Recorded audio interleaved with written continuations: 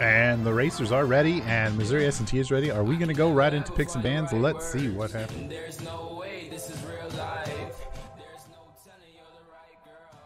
We're just waiting. Match to start. And here we go. We are in picks and bans, folks. Let's see. Let's hide Blitz because I'm not playing. First ban coming out from Murray State University. Hmm, let's see if Murray State has been doing their scout work here. And they're banning the Rumble, so maybe Rumble's a pretty big pick for Missouri S&T. I enjoy watching some play, but not today. Sejuani ban. Oh, again with more targeting against Easy Fox.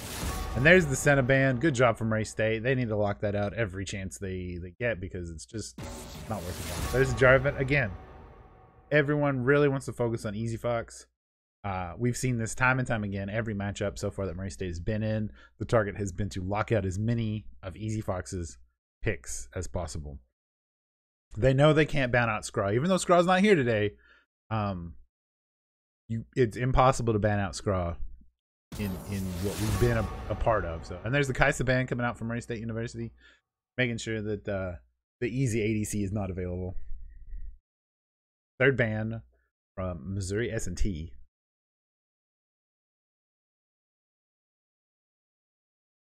Who do we got going? Trundle. All right, so that's three jungle bans essentially, locking out Easy Fox from his top three picks lately.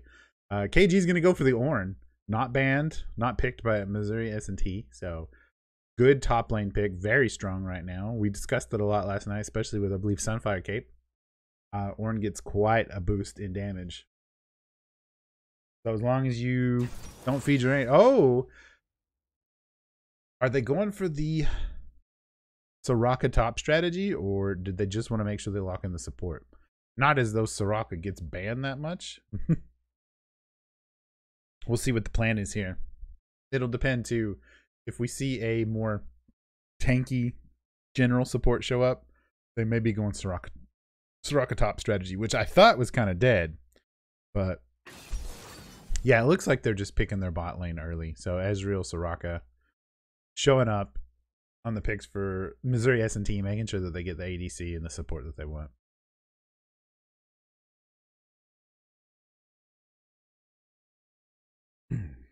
Easy Fox here. He really has to shuffle through some more choices. He could take the Xin Zhao. Olaf, I highly recommend that. Warwick would have been a good pick because I really like Warwick, so I always recommend picking Warwick. and now it's on to Blackwing. Is he going to go with the Veigar, the I would like to see more of his Lissandra play, to be perfectly honest. But he may go with Orianna. Uh, we could see another Ekko today. Ooh, he's hovering the Syndra. This is interesting. I do like this energy so far, and I think it's a good comp. I believe Blackwing has played Syndra before in a match. I don't remember how that specific match went. But I think Syndra is a good pick.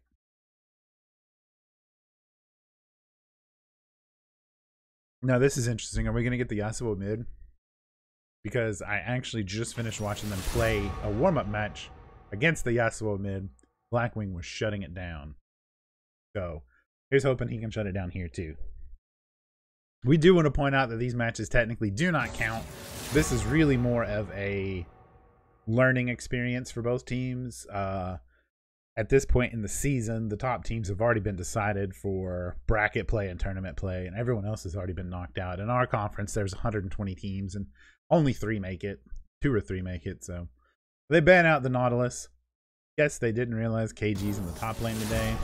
Mordekaiser ban, pretty good ban. I'm not sure if they're if Murray State's thinking about flex picks here. Or, and there's the Leona ban, so they banned out three of Easy Fox's favorite picks and two of KG's picks. Um, and the last ban from Murray State is going to lock out. I would ban some junglers personally. Just really make them have to pick a, a bottom tier jungler. Yeah, there you go. Zac's a good ban there. He can kind of float around a little bit. What with being a gelatinous ball and all that that nonsense.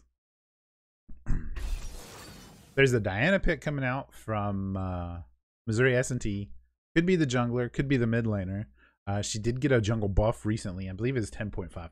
That her, Garen, Darius, Zed, Talon, and Mordekaiser actually, and Gnar got buffed so that they could be considered jungle picks.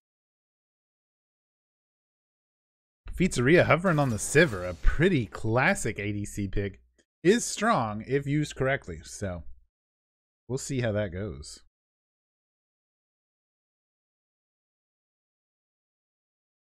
And the last pick coming out from Devonte, the support.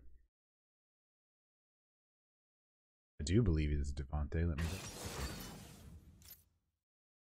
Morgana, good solid support pick. Lots of CC. Gonna work really well with uh, the Sivir. They both have a spell shield now. Uh, so they can protect each other, I guess. Pretty conservative looking lane, but against an Ezreal, really shouldn't be too much of a problem. I'm not a super big fan of Ezreal. oh, they're going crazy. Who are they going to pick? Setting on the Karma, and it's the Diana. So let's see how the lanes swippity swap around. Or are they actually going to swap? Is this the actual picks? Is this an Ezreal jungle? I didn't think so. Yep. So they are going Soraka top lane with Janna support. That's not really what I've heard works, but I haven't really heard that Soraka top is a thing anymore either. So I'm curious to see how this plays out for Missouri S&T. They may just want to try out this comp and see how it goes. Um, I'm feeling a lot better about Murray State's composition right now. They've got a good strong tank. They've got good damage. They've got good protection from a lot of, of magic, which will shut down Janna, shut down Ezreal, shut down Soraka, I think even Diana. Um, but it'll just depend on how well they play in the lanes in the early game. Because if that Yasuo starts popping off, he can basically carry the game all by himself, no problem. So we'll see how that goes. We got about uh, three minutes until the match starts. For those of you just tuning in, we will go ahead and play the League of Legends team hype video again. Uh, for those that did not get to see it last night and want to see it again, and those who saw it already this morning and want to see it again. So here we go.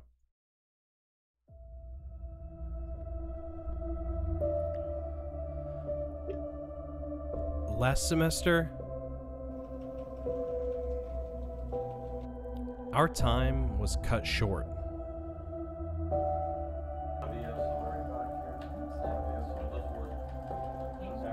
I'm not sure, but I think the horn might be. But this semester, Morgana's ult comes down, taking out that Jarvan for Renekton flashing in, taking out Scraw, getting a double kill. Looks like he's six and one. He has got a triple kill. Business.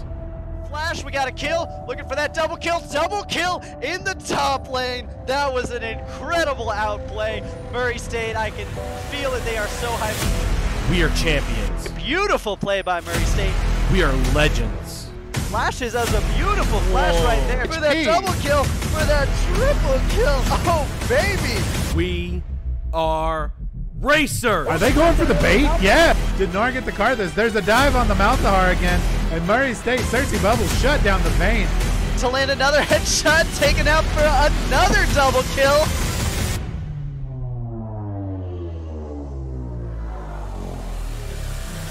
Karthus kill. KG looks like he is about to drop. There he goes. Quadra. Here he goes in hard on Malzahar right now. It's 4v1 and it's all Nor. Scraw tears up Malzahar. Cersei Bubbles tells up Jarvan.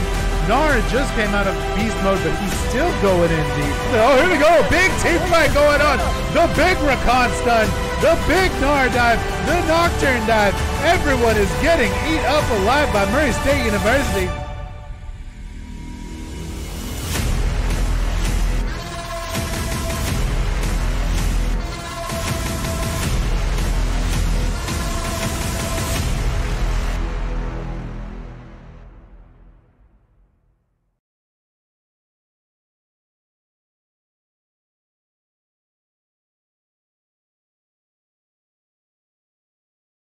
All right, I hope you guys really like that video. Um, one of our other support volunteer staff members uh, put a lot of effort into getting that put together for us. He also made one for the Overwatch team. So we do have two hype videos. You can see the Overwatch one tomorrow, or if you go check it out on our YouTube channel, that would be awesome. And don't forget to subscribe to our YouTube channel since that's free. We're really trying to get 100 subscribers. there is a little bit of Mountain Dew Amp Fuel game placement. All right, spectator delay is over. We are going into this game. You guys know the drill. The first thing that is first is the skin game. Who is going to win? Both of these teams should have League Unlocked available, so both of them should have access to quite a few skins on quite a few champions. Let's see who picks the better skins. So it looks like Murray State, Ornn decided no skin, which seems to be the case for Murray State. They like to leave one person with no skin for some reason. Then we got Brolaf, who I love, Star Guardian Syndra, Snow, Snowstorm Sivir, and Blackthorn Morgana versus Nightbringer Soraka, Lunar Garden Diana, Blood Moon Yasuo, Star Guardian Ezreal, and Star Guardian Janna. I'm kind of going to give it to um, Missouri S&T there because they got some wonderful uh, synergy. And we are in game now.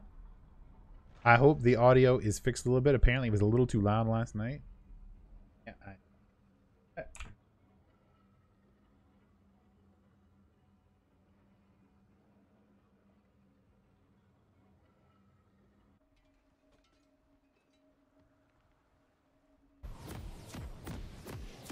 So Murray State is on the blue. Murray S&T.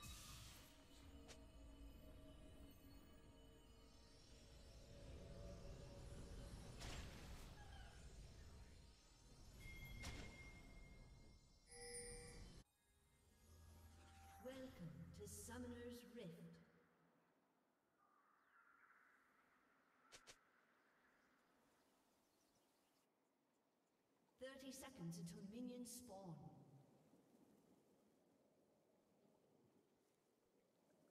We really need a new overlay, and we will get to that at some point. All right, so direct the camera is guiding our way today as I'm having to do play-by-play and shoutcasting at the same time. You'll notice that Murray State is taking a very defensive approach.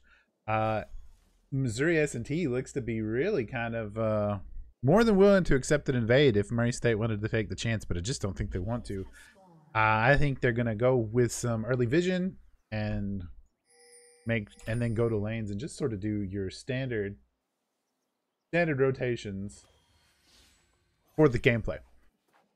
Um, no deep wards from either team really coming into play here, and now we just kind of go through go through the motions for a bit, a little bit of the early game laning. So I will want to point out that Olaf has technically the farm advantage right now.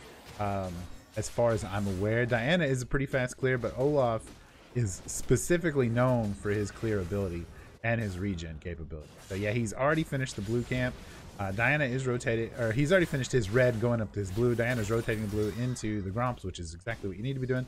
A little bit of a poke game going on in the top lane, but I don't think Ornn is too terribly worried about what. Oh, here we go in the bot lane. Morgana took a lot of early damage here, but Pizzeria is returning the favor right on the Janna. And uh, I'm really curious to see what's going to happen in this bot lane. KG's not down here. Skraw's not down here, and that's who we're used to seeing. KG being in the top lane is not something we're used to seeing, so there could be quite a bit of support coming in from uh, Easy Fox as the jungler, just trying to make sure the top lane feels comfortable. Uh, I'm sure KG is perfectly fine on the top lane. He is usually a support main, so we'll have to see how that plays out. Yeah, he's going in hard here, and that's what I thought. Olaf is going to come in and help support the gank. Uh, the bot lane's being pushed out a little bit, and it looks like Soraka's going to get away, which is pretty reasonable because she does um, get away pretty easily. She walks pretty fast. Yasuo going in on Syndra here. Uh, Diana gets her red, while Olaf is back in the jungle, finishing up. Uh, he's already got his double buff, and he's just going to go ahead and get his Gromp. So technically right now, he's actually behind uh, because he went to help with that gank. But it's so early in the game, it doesn't really matter. But again, I do want to point out that Missouri S&T players are diamond, uh, so they are ranked a little bit higher MMR wise compared to the Murray State counterparts today. Uh, but we'll see how much that really matters uh, in the fight. Ornn's going in on the uh, uh, Soraka again. Olaf's going to come in, throw the slow down. They are going to keep her CC'd, and that is going to be first blood for Murray State University. That's going to go on to KG, which is you know, where you want it to go. You want to make him feel comfortable in that lane. The faster you get Ornn to level up, the, the tankier he's going to get, and the more he's going to be able to just steamroll the rest of this game. Uh, Murray State uh, hitting level 3 a little late in the bot lane, and they are a little worse for wear as far as resources go. They're low on mana. Uh, barely has any health left. He's going to have to be careful not to get caught in one of those tornadoes. Soraka's going in again. She's uh, not too thrilled about uh, what Ornn did to her there just a few moments ago, so she's going to try to get a little revenge back. CS lead is in favor of the Ezreal right now. Ezreal putting in some damage on this Morgana. She's taking a few more hits than she needs to. Uh, going to rotate away. And it looks like, yeah, Missouri S&T is positioning exactly for Dragon because Murray State's jungler and top lane are going to farm Soraka once again. That is going to be a second kill on Soraka there. But that means that as long as they keep lane aggression in mid and bot lane, then Diana will be able to get this first dragon pretty easily. Olaf's rotating down here to help uh, help Blackwing out because Yasuo is doing a number with those wind walls. Got to watch out for the knockups there. There's a knockup on the Morgana. Ezra is going to get a lot of damage in and take down Devante in in the bot lane while Pizzeria is just going to put everything he can. Oh, we're looking for the tick. No, Ezreal is going to walk away without dying. Thought he might have been melted there, but it wasn't enough damage yet. Pizzeria really low on health. Gotta watch out for those Janna tornadoes now because the one little bit of CC and they can clearly dive this bot lane, no problem. Here comes Diana. That's gonna guarantee the dive. The flash comes out from Pizzeria. Diana's gonna take a couple of tower hits, but does get uh, Sivir knocked out, and that's gonna be first plate uh, to Missouri S&T. They do split it three ways, and luckily Olaf is down here now. And if there was any sort of poor movement from him, Missouri S&T, he could probably clean up two of them. But no, they are playing this pretty well. He's rotated in. This is exactly what he needs to do. I don't think Syndra really needed to rotate down. I guess just to the that that's good just to put up some vision. He can definitely take this dragon solo. No big deal there. But the mid lane is going to need some help soon. Um, almost double CS in favor of Missouri S&T in the mid lane. Uh, two CS lead for Murray State in the top lane. How is so? Olaf just got himself really close to back in the being in the CS lead, and the first dragon going to Murray State University. I think Missouri wanted that first dragon, but since they got a double kill in the bot lane via the Diana roam, they were okay letting that go for right now. Putting a lot of damage on this Janna right now. Um, before Ezreal was able to get back into lane, which is a good aggression from Murray State University, but they did not get a gank there. Um, that's okay though. Hopefully they're getting them. They got themselves back in the CS game in the bot lane. Feeling really, really confident in Pizzeria's abilities. Usually we do see him in the top lane, so he does not play a lot of those ADCs, but he does know how to lane. So that level of gameplay should be more than comfortable to him. Yasuo going in in the mid lane here. Not going for the dive. Hopefully, I think he was just trying to bait out some of Syndra's abilities to see what she'd do, see if she'd panic. And there was a knockup again from this Janna, knowing exactly where Men- Mentos was. The Fresh Maker.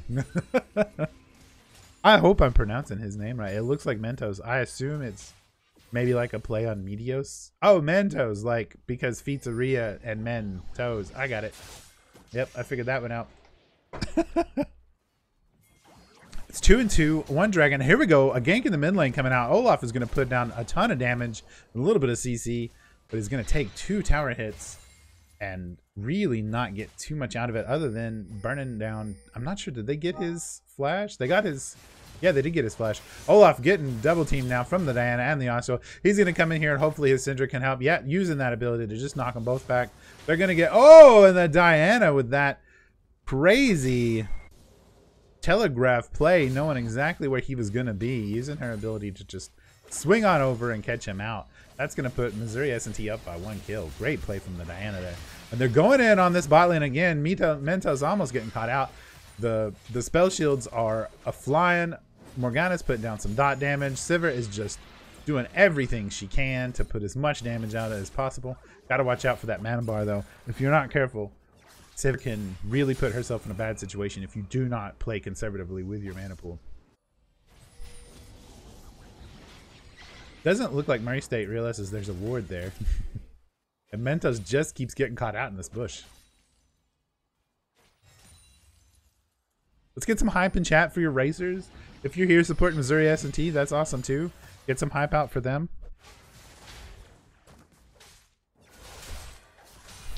And it looks like, yeah, Missouri S&T is really going to work to push this mid lane in some. Trying to get another plate. They've only got uh, until minute 14 before turret plating falls, which means all that bonus gold is just lost. So any of it that you can get early game is is just going to put you that much more in the lead. And they're already a thousand gold ahead right now with just the one uh, one extra kill. Diana going in on Olaf gets kind of caught out, uh, and because Ezreal's there, they've got plenty of damage, and Diana's going to be able to take out the Olaf with help from the Ezreal. And Murray State thought maybe they could pick up Janna as a trade, but she was able to get away as well. So it looks like the top lane is not having any trouble, but bot lane and the jungle are having a little bit of a situation. Soraka doing everything she can to put some damage on on Ornn, but just not a lot you can do against the giant blacksmith of the mountains, I believe he is. Here's what Murray State needs to be doing right now, cleaning up this vision that Missouri S&T has been putting down. They also could really stand to use some deep vision of their own, but I don't believe Olaf is in any sort of situation to. Yeah, he's a level down right now, so he's not going to be invading the jungle anytime soon. He gets the knock up on the Soraka. She goes way high and uh, drops some auto attacks down, takes her to half health. Just needs to keep dodging. She's going to be able to heal off of her E, I believe it is. So as long as she keeps hitting those, she'll get back up the, to max health. Syndra just not wanting to deal with this Yasuo. Pops her. Was that her stopwatch already? Yes. Just so uh, the Yasuo damage doesn't come through and get her. Even though she's under tower, she just knows what happens if those Yasuo crits go off. So, gotta play it safe.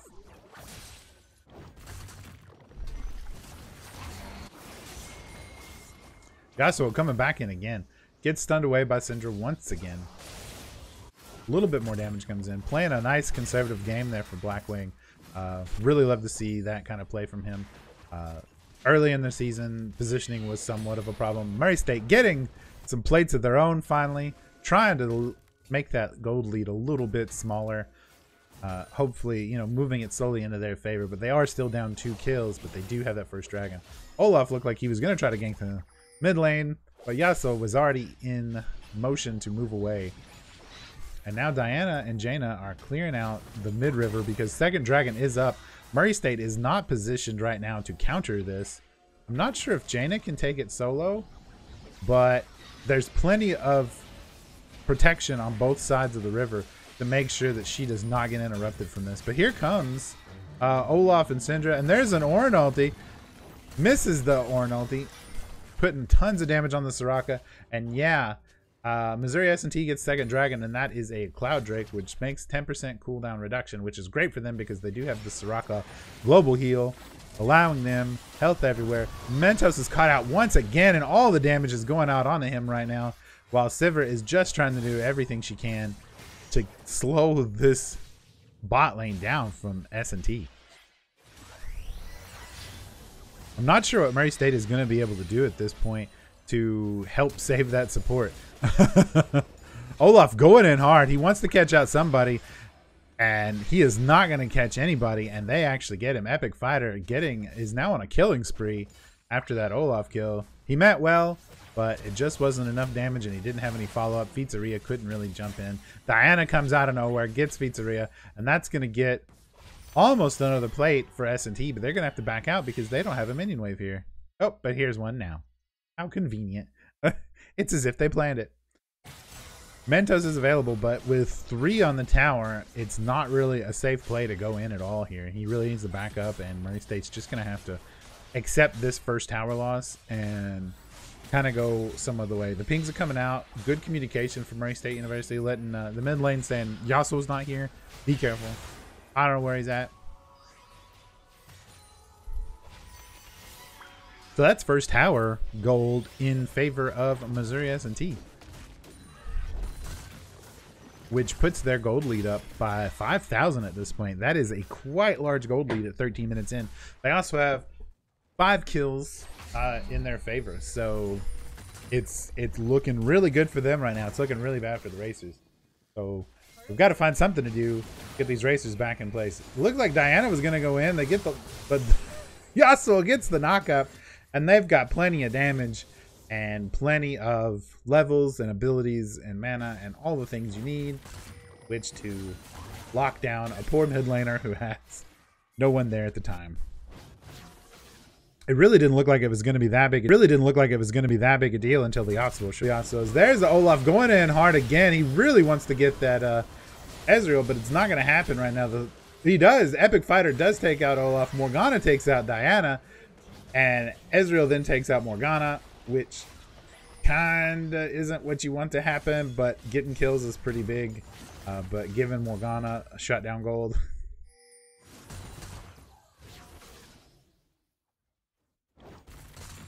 not your not your best option, but not your worst. I mean, it's better than not getting any. So it is now 10 to 3 in favor of Missouri S&T. Uh, gold lead is 6,000 now. Uh, and it looks like they are easily going to get... Yeah, Ezreal is going to clear out. Janna steals the kill away from Ezreal, it looks like. And they're going to get this mid lane turret. Uh, S&T putting on a clinic today. Just sort of uh, letting letting Murray State know this is how you play some League of Legends. Just, just so you're aware. but Olaf did get the Rift Herald, and he drops it really, really far back. I think if he hadn't done that, he might have lost it, maybe. So they'll use that as like a top lane push while Ornn is actually rotating to the bot lane. Um, I'm not sure if they're swapping lanes at all, but Yasuo is caught out. There are three on him. He is going to flash to get away, and now his Janna and Ezreal are here. Ornn looked like he was going for a charge, but maybe didn't realize there was a wall there. He gets the knockup on the Yasuo, which is ironic considering that's all Yasuo likes to do is knock people up. Uh, and there's some more knockup. That tornado allows Yasuo to go in on the Morgana. She pops her stopwatch, and Morgana is going to go down once again. While S&T just keep going. And yeah, Syndra has rotated in the top lane to face the Soraka while... I don't know where everyone else is going to go. Murray State trying anything they can right now just to maybe get a better foothold back on this game and try to do some sort of catch up. It's only 16 minutes in, so there is still a chance. But Diana going in on Blackwing once again. Blackwing is going to go down. Easy peasy lemon squeezy. Yasuo is going to go ahead and take this bottom turret. I'm pretty sure even if Sivir had all the damage in the world, being two levels down is not going to be able to help. And yeah, now S&T is going to go ahead and take this top lane as well. This is some rough, rough, rough time for Murray State University. Olaf trying to position properly for this next dragon. Janna is already there. She spots him out. She knows exactly where he's going because of all the vision. But he does not want to fight it out. Sivir does protect this bot lane turret. Keeping it from going into the hands of S&T's money. Money pouch. Money pocket. they are already up 7,000 gold at this point. Almost 8,000 gold. Um, and they're going to definitely get this dragon. Murray State has no way possible to contest this right now. Not even a really possible counterplay with all the CC uh, in the hands of Missouri S&T. And yeah, Morgana trying a last-ditch effort. It's just a little too late. They had already put on enough damage to kill it. Let's go, Racers. MSU Clipper. He's a little under the weather, but he is tuned in and watching. Uh, it is Missouri S&T with 14, Murray State with 3. Uh, two tower advantage for Missouri S&T and one dragon over Murray State University. Murray State was looking okay in the first couple of minutes, but um, once the, a big knockup from the Ornn onto the Ezreal. Ezreal and Janna have rotated to mid lane, so now we've got an Olaf Ornn mid lane going on here. Morgana, Sivir are staying in the bot lane. Syndra rotated to top. So really, they just wanted to put Ornn up against the Yasuo, but the Yasuo is not here. Yasuo is just going to rotate now. Uh, and they get the Ornn. Epic Fighter gets another kill. Olaf is unstoppable. They get another turret. Olaf is low. Diana tries to clean up and take out the Olaf. A lot more damage is coming out from this Ezreal. And uh, maybe I need to take it back. Yasuo is very attractive, but no surprises there that he knocked a lot of people up. I'm not sure I can tell that joke on the air, except I already told it. So anyway.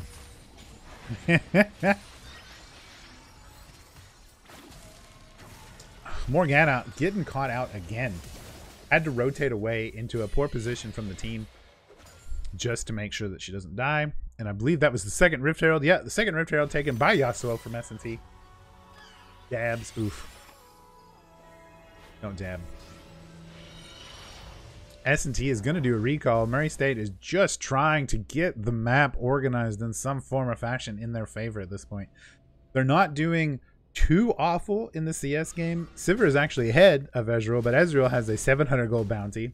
Diana has a 200 gold bounty, and Yasuo has a 200 gold bounty. So, you know, none of them have died. Ezreal is 7 0 right now. I didn't even notice that, but he is cleaning house, and Diana not far behind at 6 and 1. So this Missouri S&T team not showing any weaknesses whatsoever. Diana just going straight in on Ornn while the rest of S&T is going in on Olaf and the bot lane. Morgana has the pop the spell shield. Sivir throws out some of her wonderful weapon abilities to try and slow them down a little bit. And S&T, yeah, all right, we'll just rotate and take this mid tower. So that's four towers now taken by Missouri S&T, and they're just going to keep pushing this mid lane because I'm not sure there's much they can do. And there's that Rift Herald that they just recently took. And yeah, look at all that that HP bar on Diana just constantly getting healed up by the Soraka. Ornn goes down, tower goes down, inhibitor goes down. You really hate to see that. Shelly just charging in on that inhibitor after it was already dead. That I may have taken some of her HP bar, but there's the first Nexus turret already for the most part gone. It does still exist, but it's not going to be anything from Missouri S&T to just burn it real quick. And there it went. They're going to rotate over this other Nexus turret. Murray State is just going to have to completely back off. I don't think they have any way to stop this. Yeah, no. Yasuo is just going to camp Fountain at this point. Keep everyone away from uh, Murray State's Fountain except for S&T players so that they win round one in 20 minutes and 34 seconds, 20 to 4. First round goes to Missouri S&T. Whoo-wee. What is Murray State going to do here?